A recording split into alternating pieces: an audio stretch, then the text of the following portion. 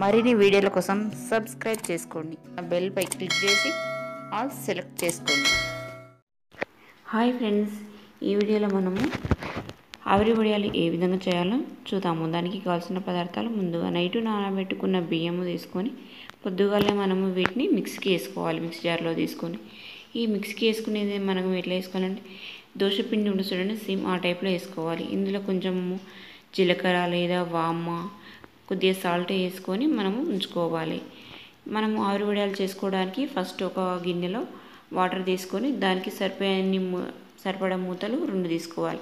ఎందుకంటే రెండు ఎందుకంటే ఒకటి తీసిన తర్వాత ఇంకోటి పెట్టుకోవడానికి మనము రెండు మూతలు అనేది తీసుకోవాలి.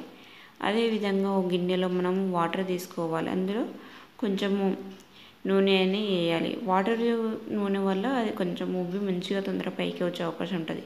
చూడండి నేను రెండు తీసుకున్న దాని మీద జరిపేటివి ఇప్పుడు మనము ఆల్రెడీ తీసుకున్న రిక ఉంటుంది కదండి దాంట్లో మనం ఒకే స్పూను ఈ పిండి అనేది వేయాలి. ఎక్కువ వేయడం వల్ల మందం ఎక్కువ వస్తుంది.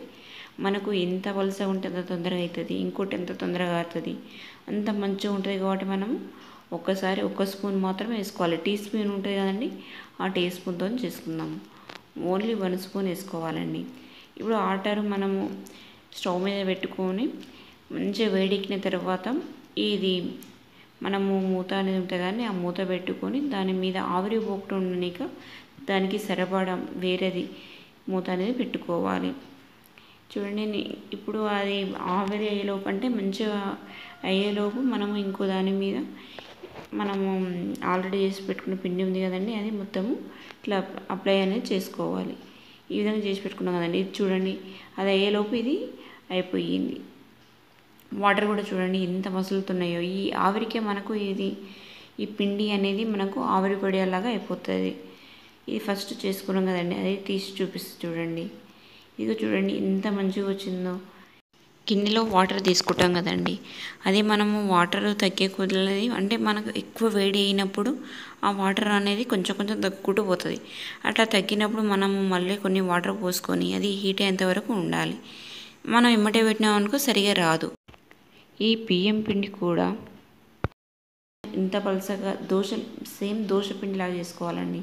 దోశ పిండిలాగా చేసుకొని ఇట్లా రికో మీద ఆయిల్ ఇట్లా ఆయిల్ వాటర్ మిక్స్ చేసుకున్న అది ప్లే చేసుకున్న తర్వాత ఇది పెట్టుకోవాలి.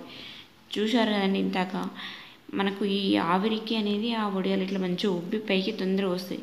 చూస్తున్నారా? మీకు బొబ్బుల్స్ ఇట్లా కనిపిస్తున్నాయి. ఇలా అనగానే మంచిగా వస్తుంది. అన్నీ వేసి పెట్టుకోవాలండి. ఈ విధంగా ఒకటి తర్వాత ఒకటి. మీరు ఒక కప్పు మాత్రమే తీసుకోండి ఫస్ట్ టైం.